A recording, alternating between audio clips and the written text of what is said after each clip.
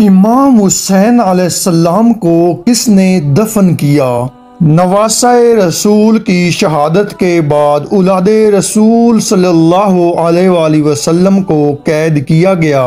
कूफे और शाम की तरफ़ ले जाया गया। आगे आगे फौजे यजीद नाचती हुई जा रही है। और पीछे पीछे रसूलुल्लाह सल्लल्लाहु अलैहि वसल्लम की बेटियाँ कैद होकर, बेयारो मददगार होकर जा रही हैं। फौज यजीद के हाथ में तमाम शहीदों के कटे हुए सर थे और वहाँ बगैर सर के जमीने करबला पर जिसम मुबारक बिखरे हुए थे। तारीख ने कह दिया कि बगैर कफनो दफन के तीन दिन तक रसूलुल्लाह सल्लल्लाहु अलैहि वसल्लम के खानदान के जिसम मुबारक ज़मीन करबला पर बिखरे पड़े थे।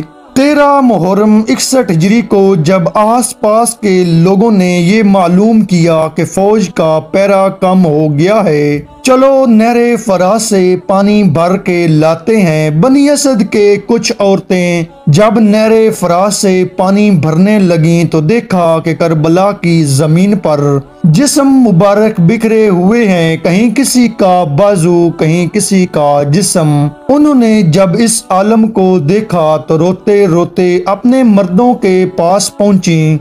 और रोते चीखते पुकारने लगी ए रसूलुल्लाह का कलमा पढ़ने वालों, इस जमीने करबला पर रसूलुल्लाह सल्लल्लाहु अलैहि वसल्लम का खानदान था।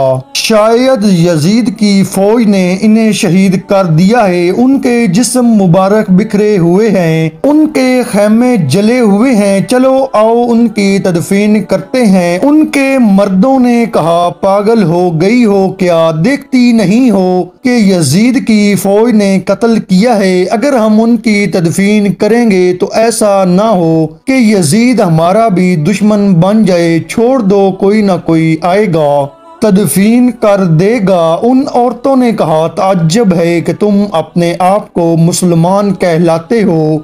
रसूलुल्लाह सल्लल्लाहु अलैहि वसल्लम का कलमा पढ़ते हो और उनके नवासों और उनकी बेटियों के लिए ये मोहब्बत रखते हो। क्या रसूलुल्लाह सल्लल्लाहु अलैहि वसल्लम ने नहीं फरमाया था कि मैं अजर रसालत कुछ नहीं माँगता, सवाए उसके कि मेरी आल से मोहब्बत करो? अगर तुम नहीं जाते तो न जाओ, हम जाएँगे अल्लाह के नवासे की तदफीन करने। जब बात यहाँ तक पहुँची तो मर्दों में से कुछ की गैरत जाग गई और वो उन औरतों के साथ जमीने करबला पहुँचे। बस उनका जमीने करबला पर पहुँचना था। देखते क्या है कि किसी के जिस्म मुबारक का बाजू नहीं। तो किसी के जिस्म पर सर नहीं, वो सोच में पड़ गए कि कैसे तदफीन की जाए। आखिरकार वो इस नतीजे पर पहुँचे कि एक बड़ी सी कब्र खोद देते हैं। उसमें सब लाशों की इकट्ठी तदफीन कर देते हैं।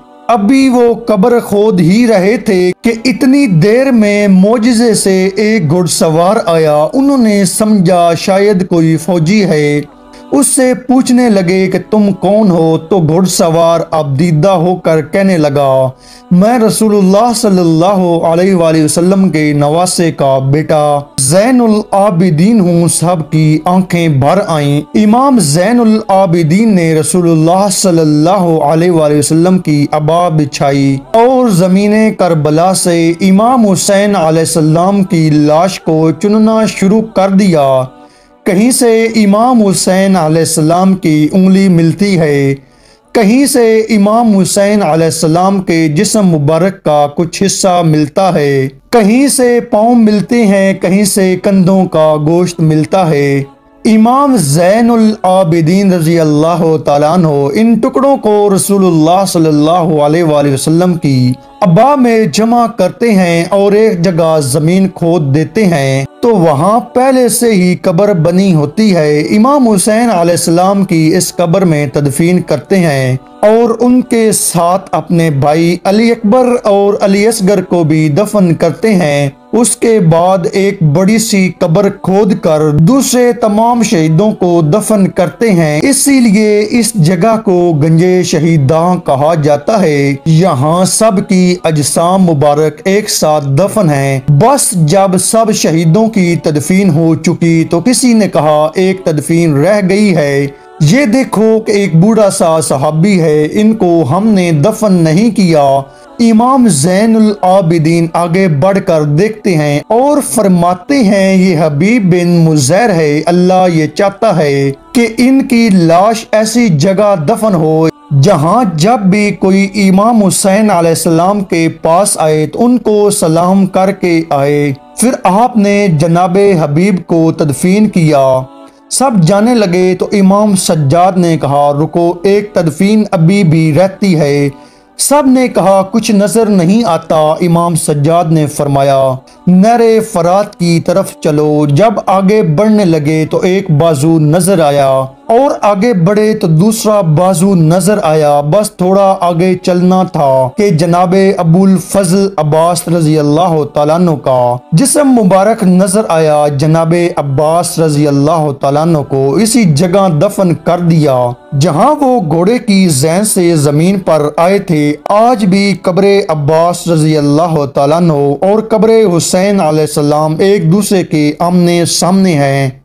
सलाम हो रसूलुल्लाह सल्लल्लाहु अलैहि वसल्लम के कुंबे पर सलाम हो रसूलुल्लाह सल्लल्लाहु अलैहि वसल्लम के नवासों पर सलाम हो उन गरीबों पर जिनके जिसम मुबारक तीन दिन तक बे यारो मददगार बगैर कफन के पड़े रहे वसलाम